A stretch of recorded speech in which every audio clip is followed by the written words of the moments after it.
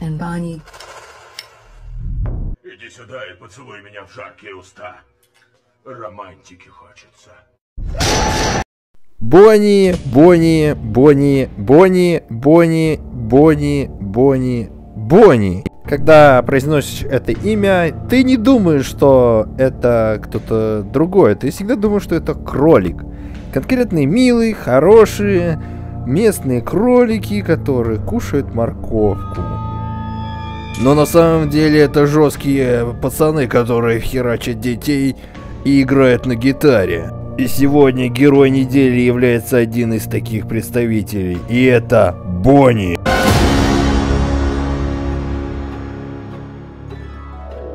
My friend took a bite. Now it's my turn. И первый у нас на очереди это Спринг Бонни. Это самый первый Бонни из всех э, пиццерий Фредди Фазбер. Он был первый показан у нас мини-игре в FNAF 3 и больше о нем ничего нет. Это золотой кролик с фиолетовой бабочкой и желтой гитарой. Всего было два вида костюма, а один на аниматронике, другой для съемных. Это использовалось в Fredbear and Friends э, для развлечения аниматорами при помощи куклы. И этот Бонни повлиял на дальнейшие события ФНАФа, что сделав Автона золотым кроликом который совершал убийства и тому подобные э, действия. Так что можно считать, что это в Бонни можно считать прародителей всех видов последующих Бонни и всей серии FNAF. Hi, kids. Welcome to Freddy Fazbear's Pizza. По счету это Бонни из FNAF 1. Его внешность, синий кр- сиреневый кролик аниматроник носит красный галстук бабочку. Играет на гитаре в музыкальной группе аниматроников.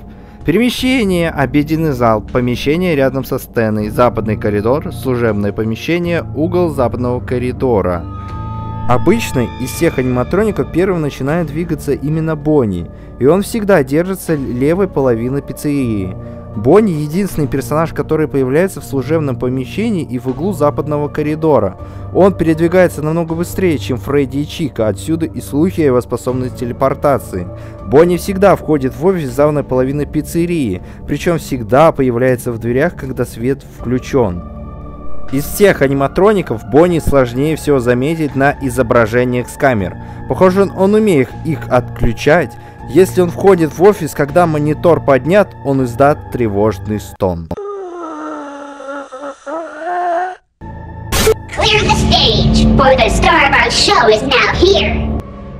Следующий у нас на очереди это Той Бонни. Его внешность. Этот Бонни сделан из блестящего пластика. У него есть верхние зубы.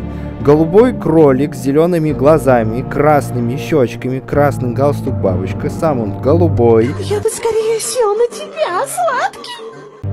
У него белый хвостик и белый пушочек на животе. Есть гитара, брови, перемещение, сцена, комната для вечеринок 3, комната для вечеринок камера 4, комната для вечеринок камера 2, первая вентиляционная шахта, офис. Игрушечный Бонни обычно приходит в движение раньше всех остальных аниматроников, но менее активен в последние ночи.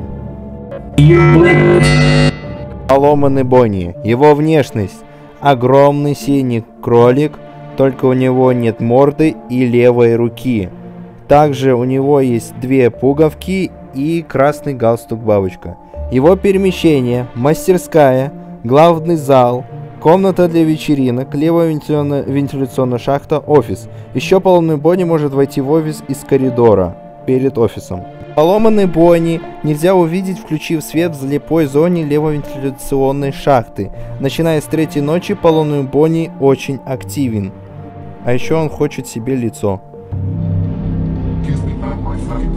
When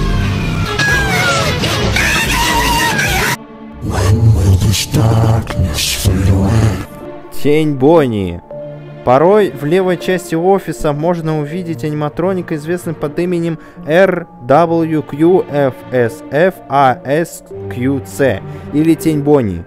После слишком долго смотреть на RVQFSFASQC игра может закончиться. По внешности это обычный той Бонни, только черного цвета, с белыми глазами и белыми зубами. Он появляется во FNAF 2 в офисе, в мини-играх FNAF 3 и э, Ultimate Custom Night во FNAF 7. Есть несколько теорий про этого человека. Он, у него нету тела, он помогает детям в мини-играх, а также аниматроник тень как-то связан с убийцей. Обратите внимание на фиолетовую окраску аниматроников теней и убийц. Don't be afraid. I'm not gonna hurt you. I'm gonna kill you. И самый страшный из Бонни это кошмарный Бонни. Его внешность. Бонни все такой же большой синий-сиреневый кролик, но некоторые его части, например зубы и когти, непомеренно увеличились. Похоже, единственная его часть, оставшаяся целой и без пророк, это красный галстук бабочка. Его перемещение. Кошмарный бой не появляется в левом коридоре и может напасть либо оттуда, либо из центра спальни. Он нападает в спальне только если вы долго не проверяли левый коридор. Кошмарный Бонни очень активен в первые несколько ночей.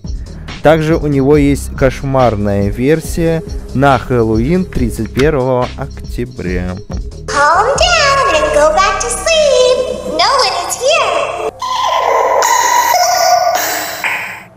Следующий на очереди Бон-Бон и Банетта. Внешность Бон-Бона. На руки веселый Фредди, кукла-марионетка, очень похожа на игрушечного Бонни.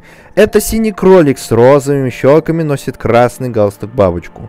Бон-Бон проигрывает аудиозапись Майс Майскот Респенс Аудио, уговаривая Фредди успокоиться, тогда Фредди возвращает свою сцену в помещение с выключателем.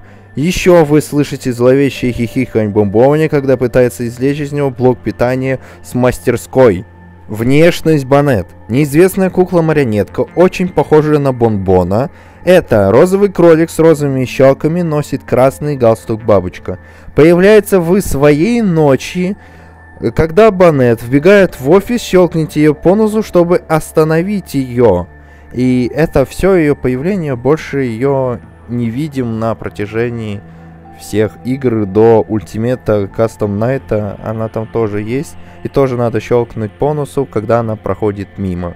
So good to see you again, my truest friend. But now your life must end. И самый последний из Бонни это Rockstar Бонни. Его внешность. Rockstar Бонни представляет из себя сине-фиолетового аниматроника кролика с зелеными глазами, пурпурными тенями, румянцем пластинами на коленях. Он имеет по 5 пальцев на руках и 4 на ногах. Пальцы на ногах отличаются сиреневого цвета. У этого аниматроника есть две золотые звездочки на груди и красный галстук бабочка, чуть выше. В руках держит красную рок-гитару, которая также держится на нем при помощи черного ремня. Rockstar Бонни появляется Фредди Фазбер Пицца Симулятор и Ultimate Custom Night. В симуляторе Rockstar Бонни предоставим в качестве аниматроника объекта, доступный к покупке в режиме каталога. В Ultimate Custom Night появляется в офисе, и ты должен по камере найти его гитару, тогда он тебя облагодарит.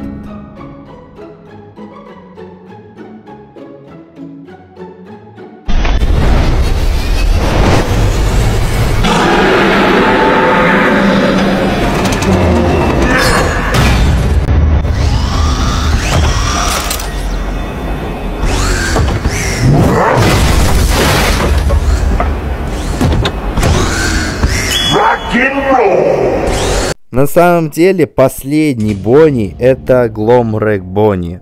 И практически про него ничего не известно. К- кроме того, что это Бонни, у него была своя гримерка, и у него есть боулинг Бонни сам. И то, что он уходил с гримерки, и то, что его там Глэм, э, э, подожди, как его, Монти загасил, тоже известно. По-моему, по теориям, то, что Монти его закосил под э, взгляд Ванессы, потому что Бонни знал, что творилось под пиццеплексом, и поэтому его загасили. Если про внешность, это голубой кролик с ушками. Ну, короче, стандартный кролик, только под э, Rockstar. И э, на этом все. Ну вот на этом все. Мы узнали про всех Бонни. Если вы думаете, что я не указал Спрингтрапа, он будет. Он для меня как-то отдельный аниматроник от всей этой серии Бонни. Поэтому мы узнали про всех Бонни. Я рассказал. Если хотите вторую часть про Бонни, я расскажу в подробностях. А всем удачи и пока.